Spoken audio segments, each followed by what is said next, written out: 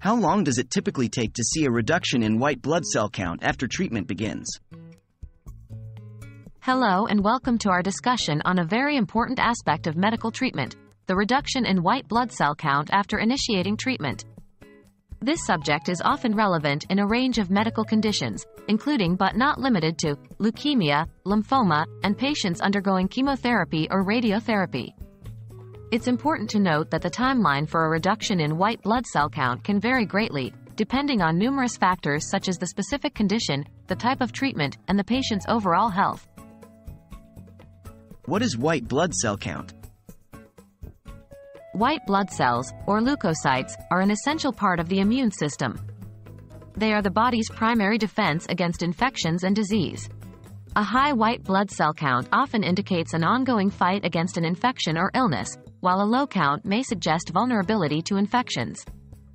Certain medical treatments, especially those targeting cancer, aim to reduce a high white blood cell count, which is common in these conditions.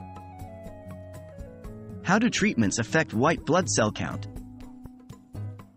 There's a wide range of treatments that can affect white blood cell count.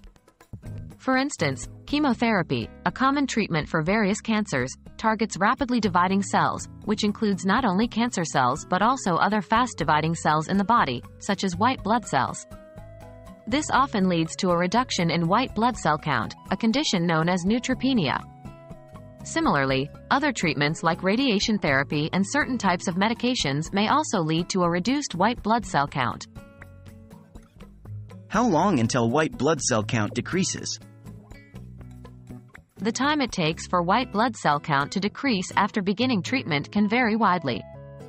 It depends on many factors such as the specific type of treatment, dosage, the patient's overall health, and how the individual's body responds to the treatment.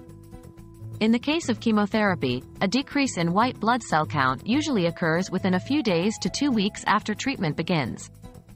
It's crucial to note that this is a general timeframe and can vary considerably from person to person. To sum up, a reduction in white blood cell count after starting treatment is dependent on various factors and can range from a few days to a couple of weeks. Frequent monitoring of blood cell counts is essential during this period to ensure safe and effective treatment. Always consult your healthcare provider for information tailored to your specific circumstances. We hope you found this video informative. Stay healthy, and remember to always keep in touch with your healthcare professionals for any medical concerns or questions.